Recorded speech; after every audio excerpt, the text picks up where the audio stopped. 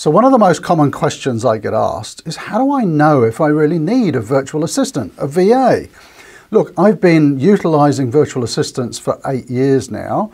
And as I say, it's a very common question. So I thought I'd share some of the thoughts maybe that you're having in the back of your mind that might indicate that a virtual assistant is going to be a great benefit to you. And I've got a few listed here on my laptop.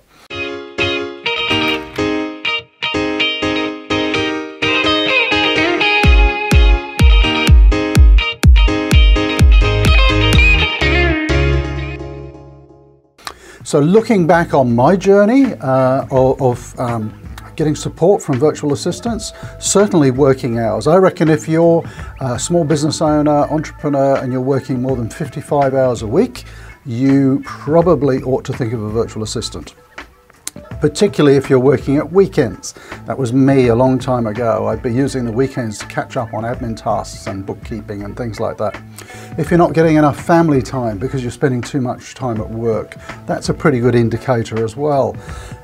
What about, are you spending a lot of time on low value tasks? So as the business owner, you should be focused on things related to sales and, and, service delivery and maybe marketing. Are you spending a lot of time on low value stuff? That can be done by a virtual assistant. Maybe you're spending too much time on tasks like booking travel, ordering supplies, bookkeeping, uh, postal, posting social media content. All of that stuff can be done by a less skilled, lower cost person. It doesn't have to be done by you. It shouldn't be done by the business owner. Uh, another key indicator, you really want to sort of grow the business, but you're being held back because you can't afford local support staff. You know, you need people to, to help you with key tasks, but it's just too expensive. And, and it's, it's kind of that glass ceiling. Your, your business needs to grow, your cash flow needs to improve before you can get the support staff. And it's a bit of a catch 22.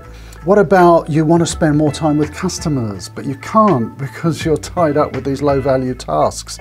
You know, a, one tip that I would give you if you're wondering whether a virtual assistant is going to be beneficial or not is list down, list down all of the tasks that you do during a, a, a typical week.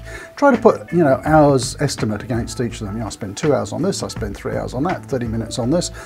If you do that list honestly, and then you've got at least 10 hours of tasks a week that you could give to a virtual assistant, I'd say you're missing out because that's 10 hours that you could get back to spend with your family, to spend with clients and so on. And that's really conservative. When I first did that exercise, I came up with about 20 hours.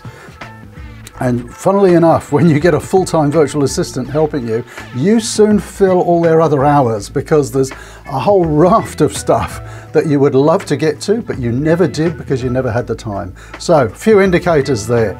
If you're thinking, yeah, that's me, that's me, yeah, I'd love to have more time for this, more time for that, and you're spending time on low-level admin tasks, it's probably time to think of a virtual assistant.